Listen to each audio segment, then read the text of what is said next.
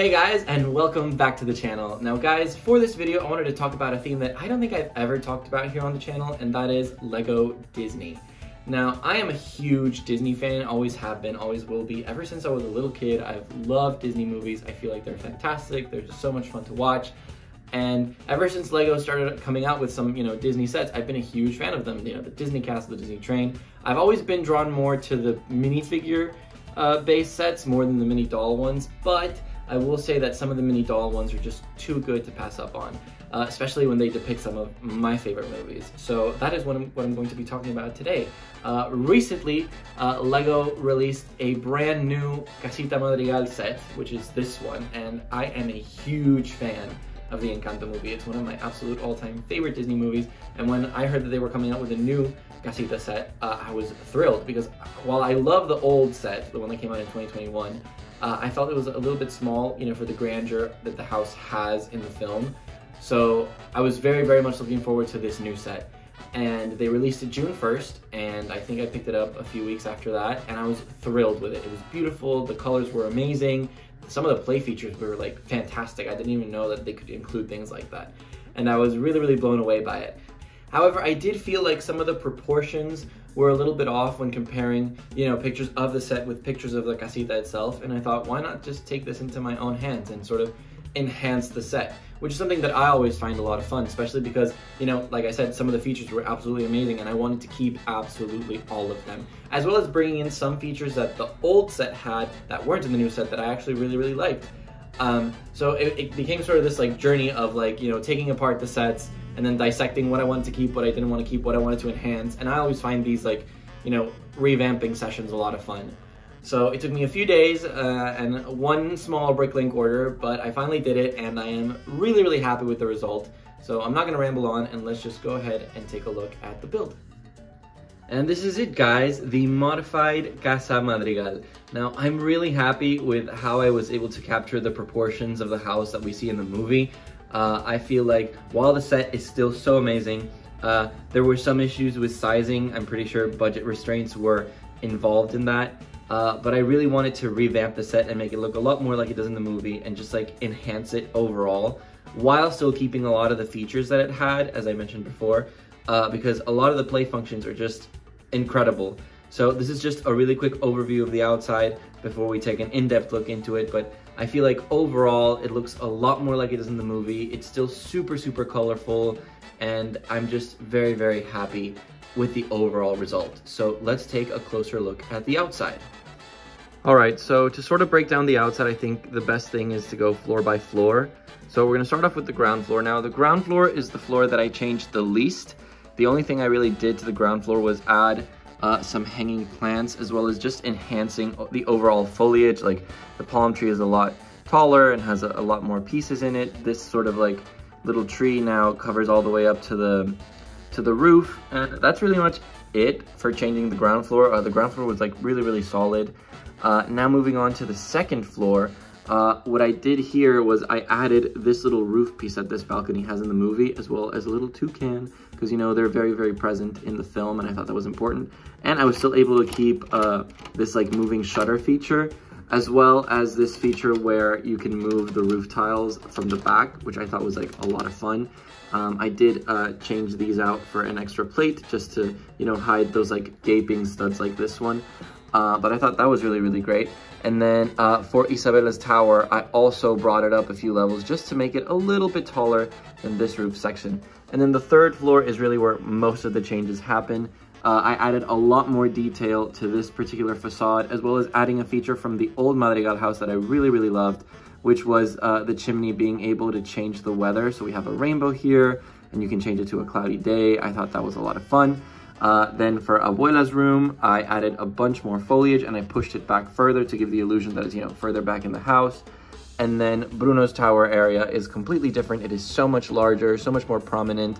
Uh, I added a bunch of, you know, facade details with these like tiles and uh, I added some shutters to these windows just, you know, to make it a little bit more detailed. But I think like the overall look of it, it just brings everything together so, so well. And you can really, really, you know, tell that it looks a lot more like it does in the film and I'm just so, so happy uh, with the final result. So let's turn it around and take a look at the inside.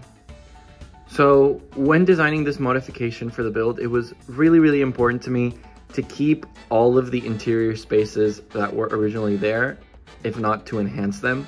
So I'm gonna start with the breakdown of every single room inside this house. Most of them are still the same, uh, but we'll get into them as we analyze them individually. So we're gonna start down here with the dining room, which I absolutely love. There's a lot of stickers in here.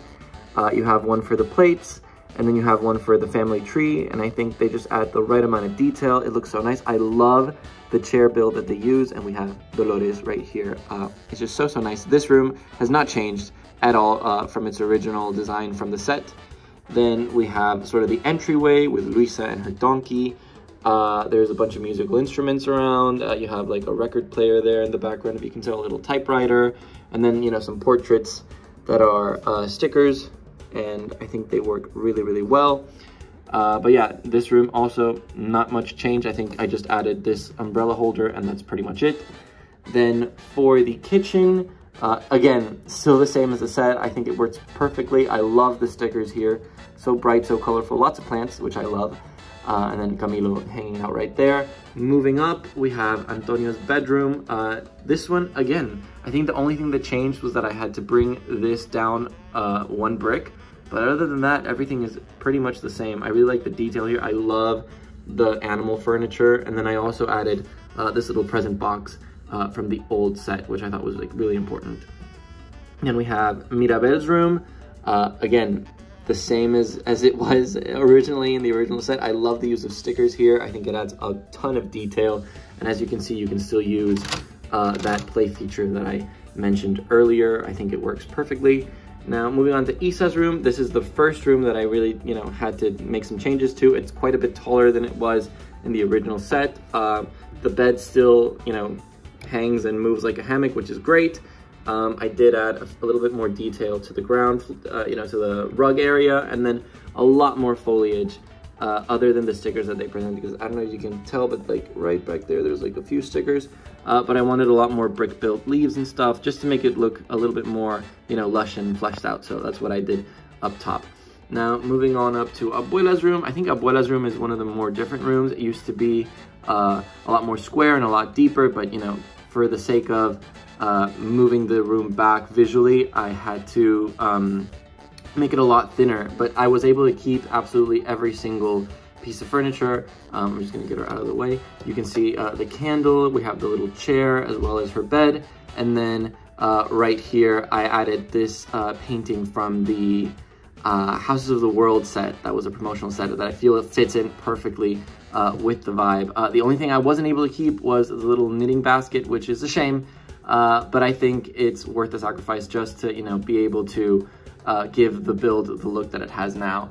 And then uh, moving on to Bruno's tower, I was able to keep the little drawer for the vision thing, as well as the turning feature uh, of hiding the vision behind the falling sand, which I thought was like really, really important to keep.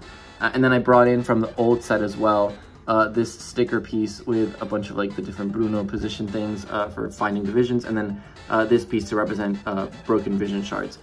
Um, but yeah, that's kind of it for the inside of the house. I'm very, very happy with all the features that it has and the features that I was able to keep. Um, very, very proud of it, honestly. Um, but now let's go ahead and take one final look at the whole build.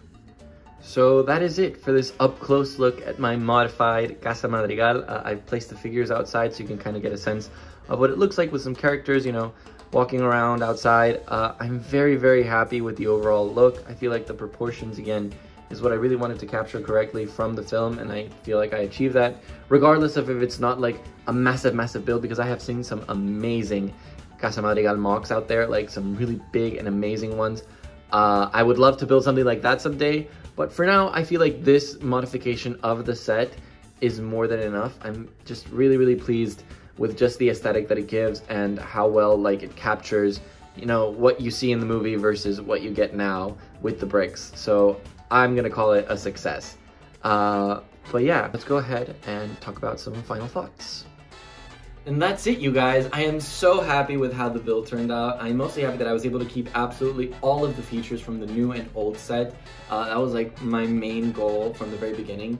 uh, and I'm really happy that I was able to achieve it. I feel like the overall look of the build is very, very accurate to how we see it in the movie, and it's just a really great, you know, display piece now overall. Not that the other set wasn't, it's just, you know, a little enhanced, which is what I wanted. I really enjoy this sort of like taking something that's already designed and, you know, just adding to it, making it different. I feel like it's a lot of fun, kind of like a team project, I guess. Um, but yeah, I really, really enjoyed it, and I hope you enjoyed it too. I hope you liked the build. I hope you enjoyed this video. But that is going to be it for this one, guys. Thank you so much for watching, and I'll see you in the next one. Bye.